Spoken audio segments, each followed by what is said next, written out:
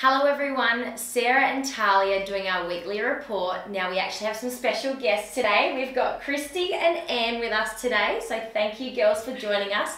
I know it's always a little bit nerve wracking when you've got to come and talk to the camera, so thank you so much.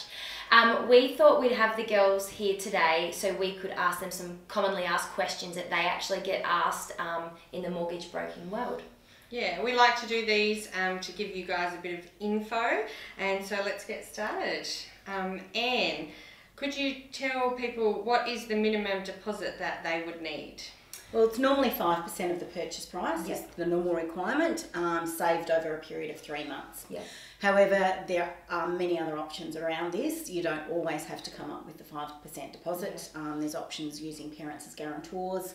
Um, if you're currently renting through a real estate agent, six months rental history Yeah. gets you across the line for your genuine savings. Yep.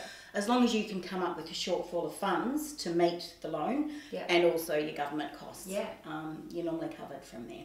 Um, so Christy, I've got a question for you. Why would I go to a broker instead of my bank? Well, first of all, because we're fabulous. Yes, of course, of course. um, but obviously, a lot of people are really time poor these days. Mm, yeah. So, going trying to shop around with all different banks and credit unions, it's, it's time consuming. Um, we have approximately 30 plus lenders um, on our panel that we can look at, so we can make sure that we offer the best the best loan, the best deal that's out there for you and your personal circumstances. This is a question that Talia and I get asked all the time, but is the first homeowners grant still available? Yes, it is, and people there's a lot of confusion around this because Mm. people think it's out there for everybody, which it's not now. It used to be, um, but first home buyers is still available. Uh, the amount of fifteen thousand dollars for people that are building new homes, Mm.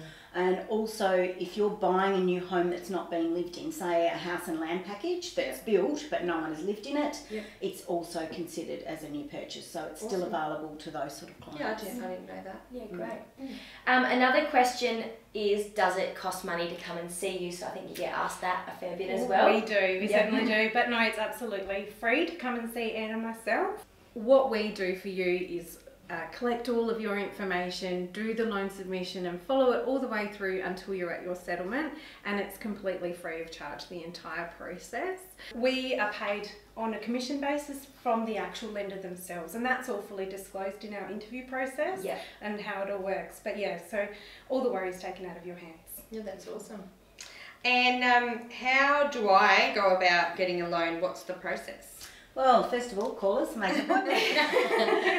Can't wait for your phone calls. Um, then from then on, we basically have a, a one-on-one meeting. Um, normally, it's good to bring along some documents with you for the first appointment, just to run through some figures. So, which documents do you mean? Um, normally, a couple of pay slips, um, some identification. Um, also, if we're looking at a refinance, we would need copies of rates notices and things like Yeah. that, so we can get the security value of your other properties Of course.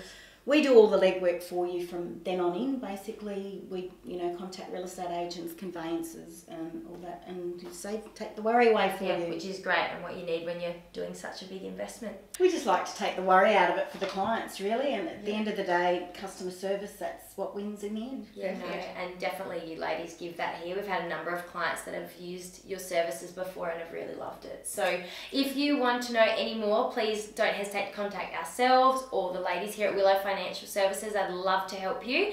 Um, and we hope you've enjoyed today's weekly report. Thank you. Thank you.